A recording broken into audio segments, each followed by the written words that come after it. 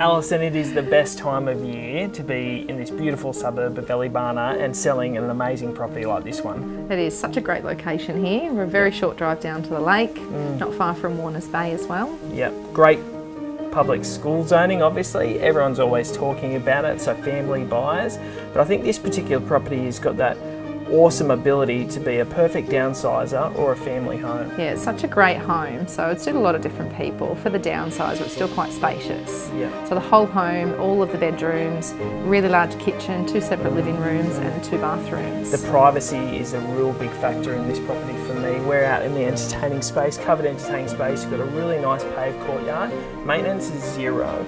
Two really good serviced um, areas to both sides of the home. But the fences are high, the privacy is great, it's established. So this home's got such a great layout for entertaining because both the living rooms lead out into this undercover area. So Alison, with the proportions of this home, I think sometimes people sacrifice, oh, that room's a bit bigger, but that one's a bit smaller. I think most buyers will come through and go, no, this is really good. It's got separate living, it's got separate dining, it's got big kitchen, big rooms, big. I think everyone will appreciate how spacious the home is. So has had some great development recently just down the road on Burton Road where Eleebana Shores and a lot of over 55 development has happened. What we know is when we're talking with people who are downsizing, sometimes they don't want to go into a uh, complex or a bigger development. I think this is the perfect thing. It is, absolutely, because it's no maintenance, single level, and it has no strata.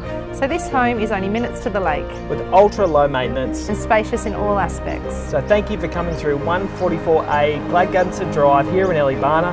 I'm Daniel Irwin. This is my colleague Alison Bratby. We are First National Altitude. We look forward to seeing you at the next open home.